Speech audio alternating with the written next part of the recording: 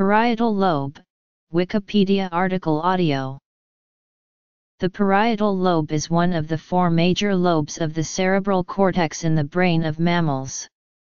The parietal lobe is positioned above the occipital lobe and behind the frontal lobe and central sulcus.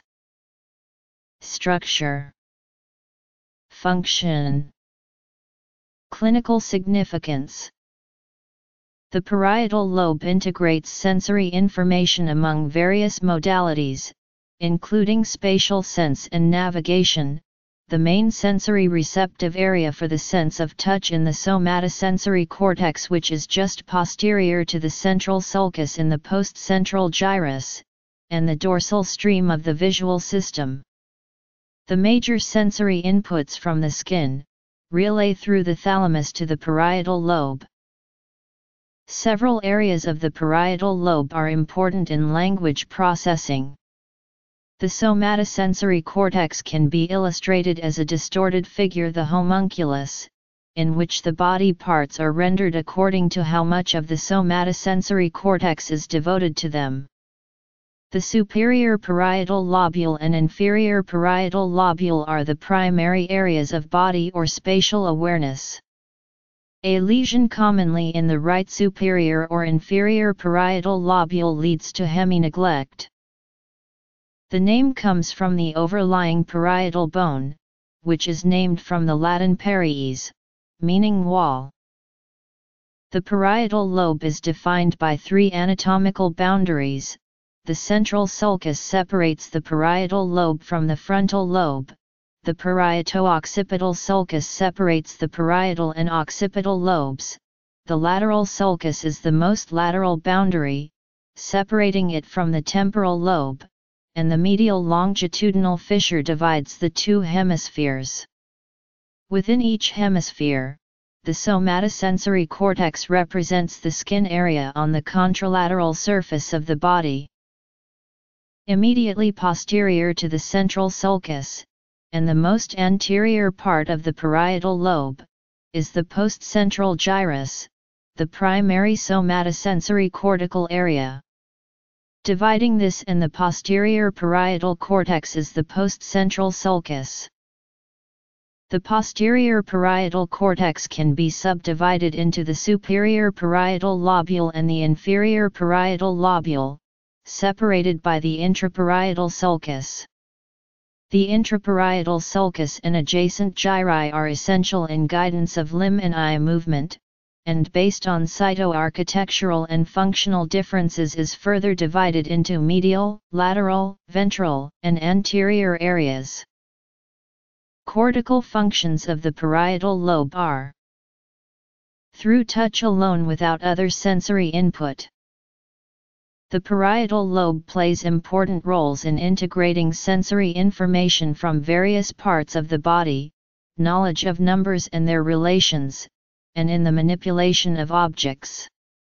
Its function also includes processing information relating to the sense of touch. Portions of the parietal lobe are involved with visuospatial processing. Although multisensory in nature, the posterior parietal cortex is often referred to by vision scientists as the dorsal stream of vision. This dorsal stream has been called both the where stream and the how stream. The posterior parietal cortex receives somatosensory and slash or visual input, which then, through motor signals, controls movement of the arm, hand, as well as eye movements. Various studies in the 1990s found that different regions of the posterior parietal cortex in macaques represent different parts of space. More recent fMRI studies have shown that humans have similar functional regions in and around the intraparietal sulcus and parietal occipital junction. The human parietal eye fields and parietal reach region, equivalent to lip and MIP in the monkey, also appear to be organized in gaze-centered coordinates so that their goal-related activity is remapped when the eyes move. Both the left and right parietal systems play a determining role in self-transcendence, the personality trait measuring predisposition to spirituality. Features of parietal lobe lesions are as follows. Damage to the right hemisphere of this lobe results in the loss of imagery, visualization of spatial relationships and neglect of left side space and left side of the body. Even drawings may be neglected on the left side. Damage to the left hemisphere of this lobe will result in problems in mathematics, long reading, writing, and understanding symbols.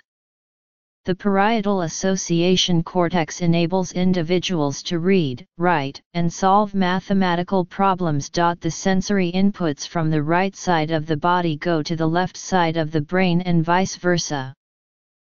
The syndrome of hemispatial neglect is usually associated with large deficits of attention of the non-dominant hemisphere. Optic ataxia is associated with difficulties reaching toward objects in the visual field opposite to the side of the parietal damage.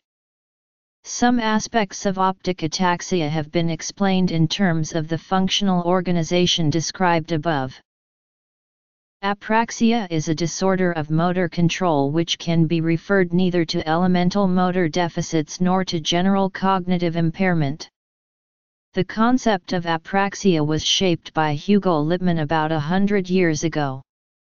Apraxia is predominantly a symptom of left brain damage, but some symptoms of apraxia can also occur after right brain damage.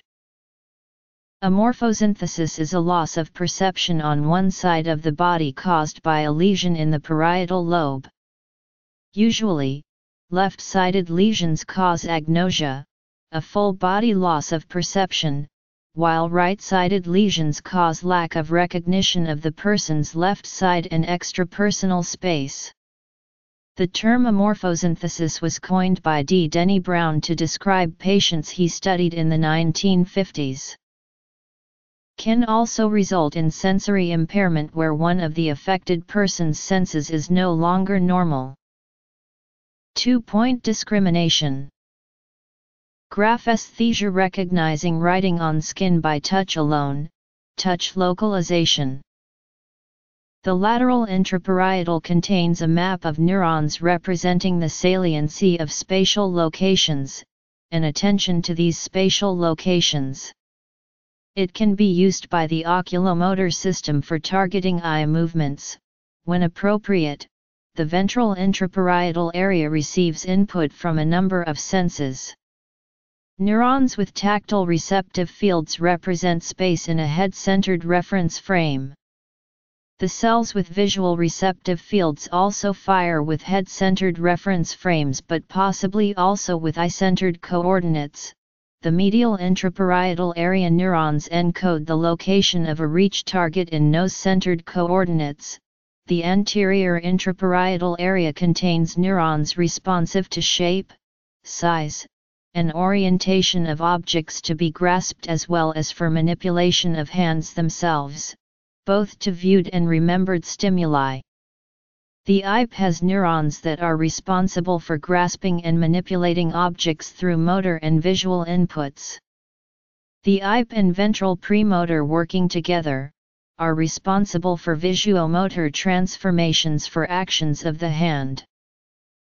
Unilateral parietal lobe contralateral hemisensory loss, astereognosis inability to determine 3D shape by touch, agraphesthesia inability to read numbers or letters drawn on hand, with eyes shut, contralateral homonymous lower quadrantanopia, asymmetry of optokinetic nystagmus, sensory seizures, extinction phenomenon.